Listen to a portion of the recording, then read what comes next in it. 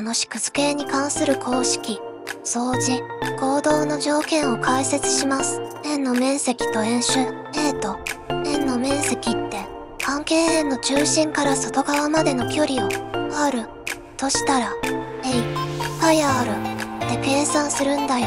円周円の周りの長さは、C、2パイ R、って感じ。直線と角度、直線って、ある角度の合計は常に180度。だから、2つの直線が交わったら、その交点で4つの角度ができて、全部足すと180度になるんだね。三角形、三角形の内角の合計っていうのは、全部足すと180度。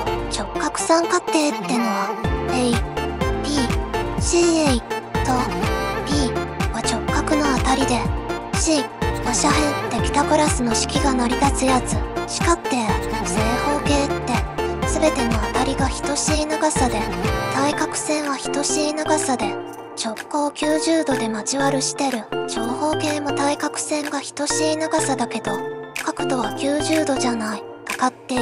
正多角形の内角の和ってのは、N にかける180度 N 角型の当たりの数。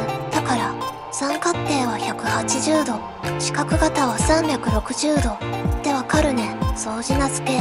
相似な図形ってのは、当たりの比と角度が同じ。だから、似た形を持ってるんだよ。例えば、小さい三角形が大きい三角形と相似かも。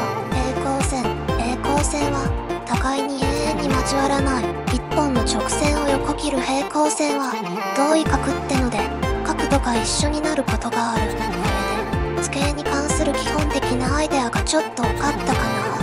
中学の数学では、これらの考え方を使って図形の性質を調べた。り問題を解いた。りするよ。合同の条件。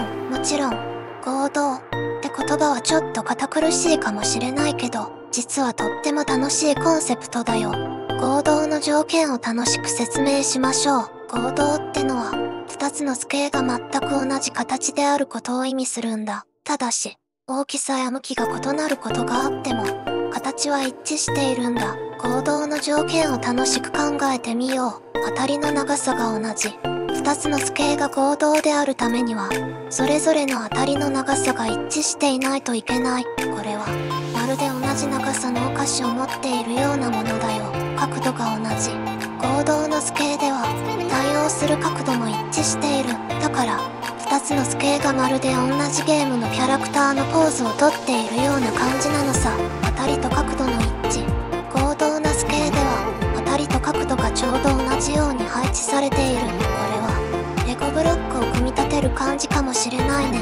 ブロックの形や向きが違っても、同じ部品同士が一緒に組まれているよ。合同の条件を理解すると、図形を比較して同じかどうかを見極めるのが楽しくなるよ。同じ形のピースがどのようにしてパズルの中で組み合わさるか。それを考えるのも楽しい合憲だね。掃除の条件、掃除って言葉は、図形が似ているけれども、サイズが違う場合を指すんだ。掃除の条件はちょっとパズルのピースのように楽しいものだよ。さあ、掃除の条件を楽しく説明してみよう。当たりの比が同じ。掃除な図形では、それぞれの対応する当たりの比長さの比が等しいんだ。これはまるで、大きさが違う似た形のパズルピースを持っていて、それを組み合わせて新しい絵を作る感じ。角度が一致。掃除な図形では、対応する角度も同じようになっている。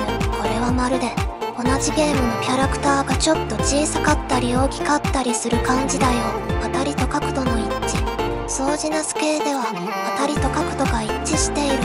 つまり、どの当たりも同じ比率で縮尺されている感じ。これは、写真を拡大縮小すると、全体の形は変わらずに大きさだけが変わるようなものだね。掃除の条件を理解すると、図形や物体が異なるサイズで似た形を持っていることを認識できるよ。これは建築、地図、写真、モデル制作など、様々な分野で使われるから、とっても面白いよ。